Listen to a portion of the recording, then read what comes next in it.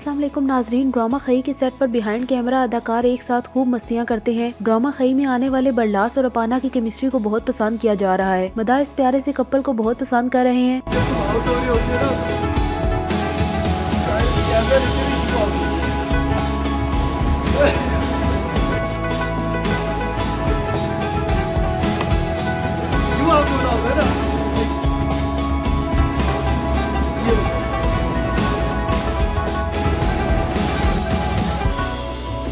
video? Yeah.